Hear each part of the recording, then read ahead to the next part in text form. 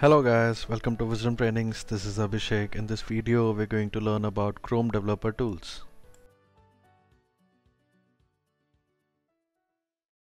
So the first question in your mind would be, say, what are Chrome Developer Tools, right? And the next thing would be how to open them, right? So what are Chrome Developer Tools? Right? Now these are something which allow us to say um, learn about the request the page what are the contents and a lot of things right? The question is how to open chrome developer tools. Now there are different ways of opening chrome developer tools. First you need to have a chrome installed. So i have this instance installed in my system.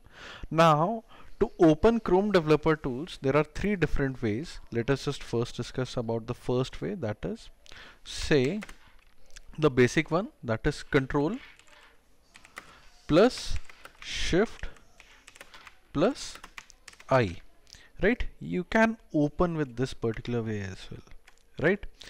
Secondly if you if you're not able to open it with this you can simply hit F12 key. Now what happens is that one of the ways are usually disabled by the say developers on the pages so that no one can analyze the pages so you can use one of these two methods. There are two different methods as well. I'll, I'll uh, say consider them as one method. That is, say on the page, if you right click, you can see that there is an option of inspect.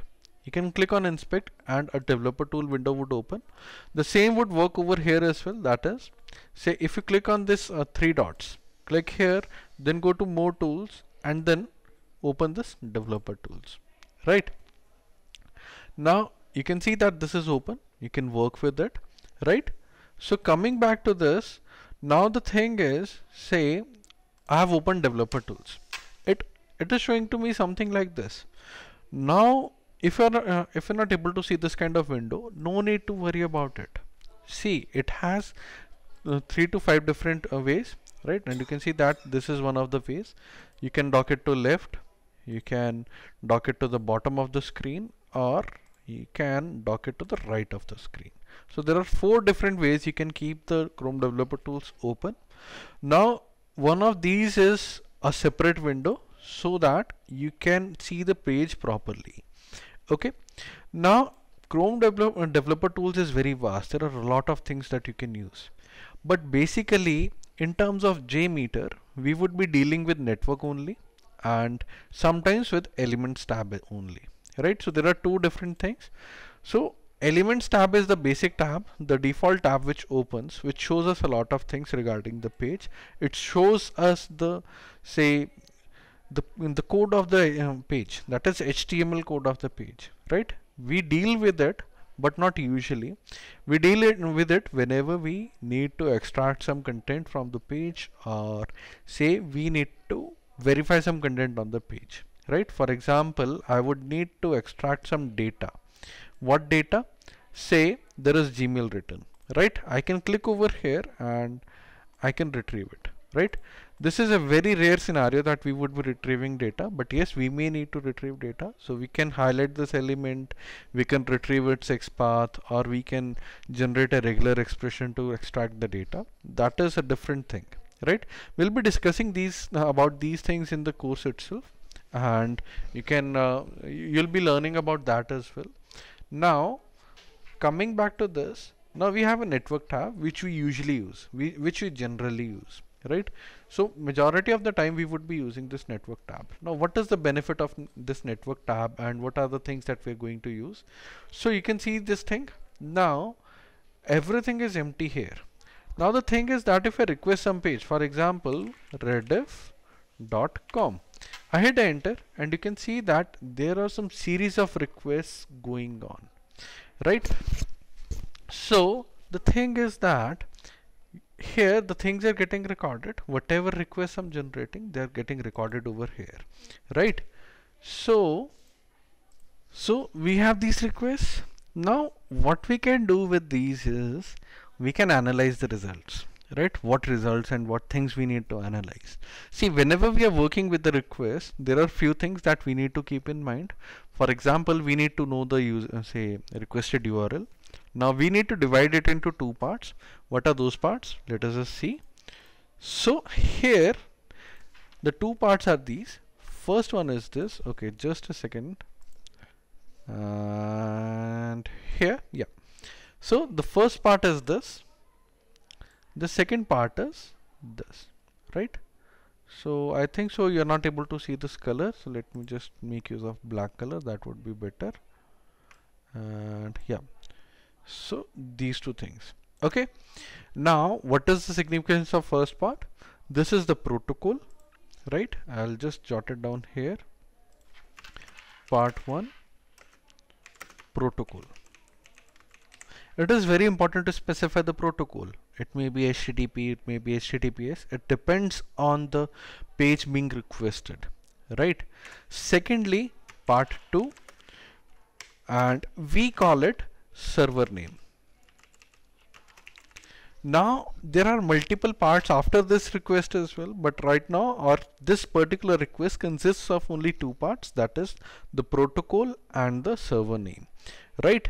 Now over here there are other things as well. For example what is the request method? What is the status code? Now if you notice something the request method is uh, this that is get. The status code is 301 this is telling us that the request has been um, the page has been moved permanently. Now whenever there is a get request right this means that we are send uh, we are just sending the plain text data and we are just sending in the request simply right now over here if there is 301 this means that the page has been moved. We need to move to the next request now. So this is the request which has the status code 200 status code 200 means the page is okay and it is successful. Right? So over here the request URL has changed a bit. That is the protocol has changed from HTTP to HTTPS the server name is okay.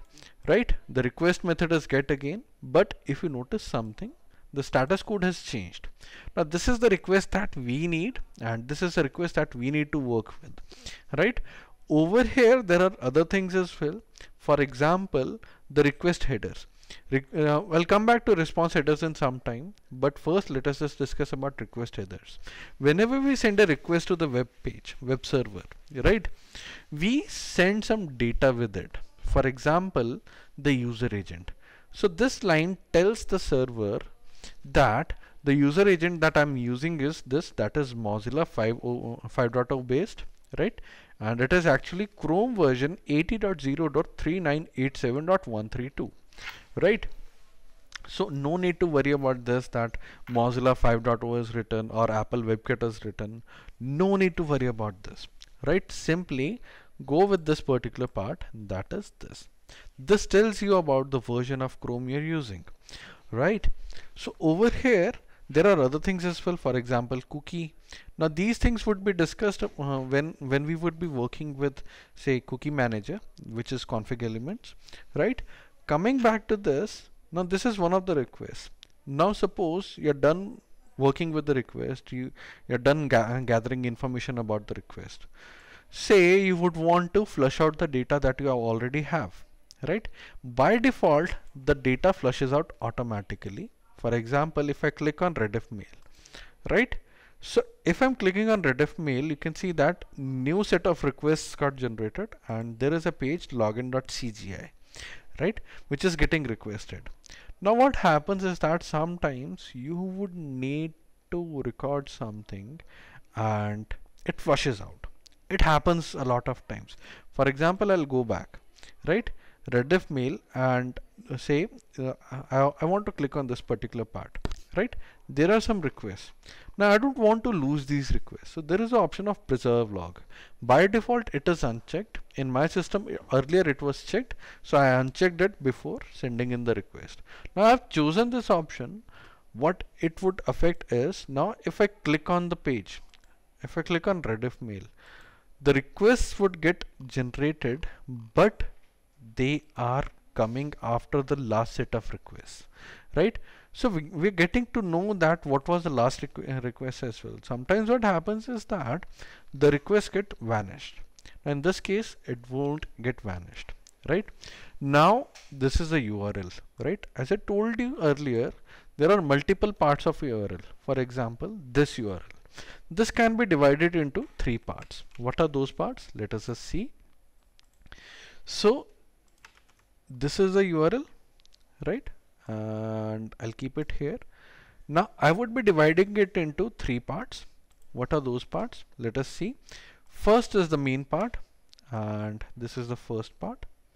Second is this part, right? Till this particular point. Third is after the forward slash. So there are three different parts. Let me just start down these part names. Part 1, part 2, part 3 right? You're already aware of part 1 and part 2 the third part is the say path right? This is the path okay? So this means that whenever you are working with the request you may need to specify the path as well. You cannot avoid it right? Now there is one more thing that I would want to discuss. For example say you go to this particular page that is google.com right? And here you search for something for example Apache JMeter right? So I'm looking up for something right now and you can see that there are some series of requests. Okay there are a lot of requests. Now I won't be able to understand which request I generated. So simply uncheck preserve log flush out the results from this clear button and then go back to page and then regenerate the request.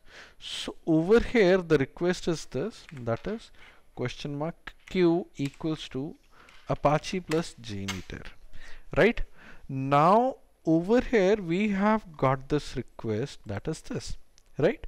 This is the url i'll copy this url and i'll paste it here. Now this url is not having one part or two parts or three parts actually it is having four different parts right? We can divide it into four different parts. What are those parts? First part is this https second part is this google.com third part is this that is search. Do not include question mark. Fourth part is q equals to apache plus jmeter so there are four different parts. Now what is the fourth part right? I won't be discussing about first three parts. The fourth part is the say request parameters. Now here we send the data that we would want to provide to the server. Server can process the data accordingly right? But these are the request parameters.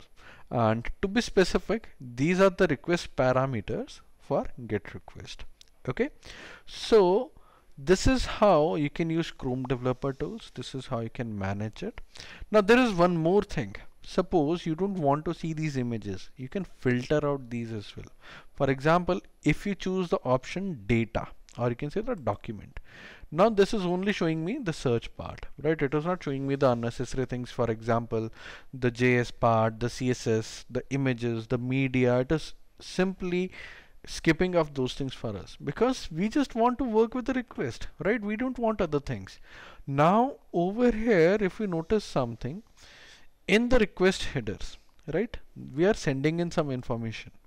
We are sending in the cookie as well. We don't have to send this cookie directly but yes we can provide this information. The most impo important information that we need to send with the request is this right so you you need to know about what kind of user agent you are using. Sometimes what happens is that the websites do not allow you to work with the web page if the user agent is not provided right? So this is how you can open chrome developer tools. This is how you can uh, analyze the pages on chrome. And this is how you can analyze the requests right? Thank you. Thanks for watching this video guys please don't forget to subscribe and hit that bell icon so that you can you'll be updated all the time. Thank you